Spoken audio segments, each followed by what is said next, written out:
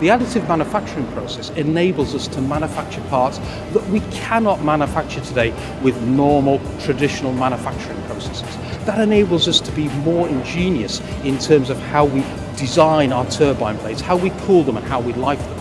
Turbine blades has always been, I feel like, a, a vision. It's a real target. It's the most challenging area of the turbine. So if you can print a turbine blade, you can pretty much print anything. And we've proven over the last couple of weeks now that we have been able to print a turbine blade and test it in an industrial gas turbine engine. In Lincoln we're testing a 3D printed plate and we believe this is special because it's the first time anywhere in the world this has been tested at full load conditions in a gas turbine. We test these blades very quickly. In one hour we run the engine at full load. We put a probe in here to measure the material temperatures which tell us how long these blades will last in a turbine. Now the turbine blade itself is this particular blade. Now this is the, uh, the high pressure turbine blade of a 13 megawatt SGT 400.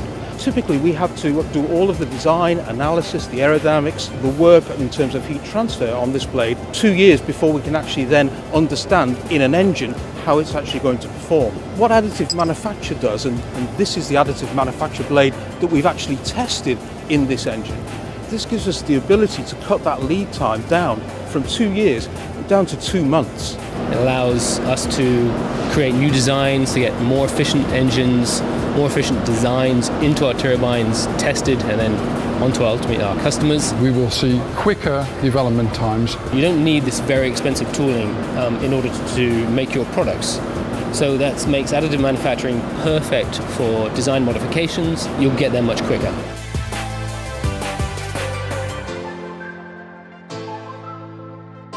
The basic process starts with receiving the model from the customer. We'll then take that model and slice it into very thin layers and export it to the machine. The machine then builds it up in a very thin layers, 20 microns, using a laser to melt all of the metal powder together to create the final product.